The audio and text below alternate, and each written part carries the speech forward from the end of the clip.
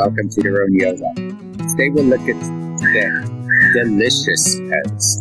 Most people begin yoga classes with cat cow cat cow is fantastic and really great to get the spine massaged in both directions.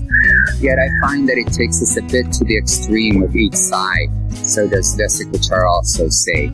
So I've tried to look at a way that will give us a more complete warm up.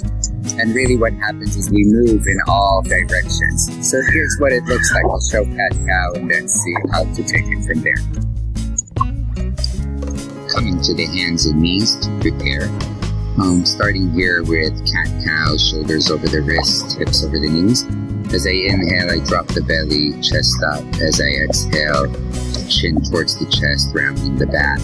Again, inhaling, looking up, chest up, really getting that nice little arch in the lower back and curving, right? So each time we're massaging here the lower back, which is fantastic. Here's what happens in the delicious pose.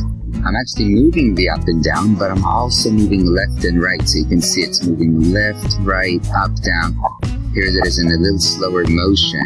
Really, you can think of it as a belly dancer move, right? It goes all the way to the side, then up, then to the other side while it lowers down and again side up down what i'm doing here is i'm starting to add more head movement so that i'm really getting more than just the lower back but even rotating my head and neck personally i love that and so this is why it's so delicious. There's no real right way to do it. It just needs to feel awesome in the body. So awesome that you may decide to even bend the elbows and start to move around your whole entire body and maybe except for your knees down there really massaging like good quality olive oil, extra virgin, going through as many joints as you can, and really just giving yourself a nice wake up call before you go for any sun salutes or moving on further.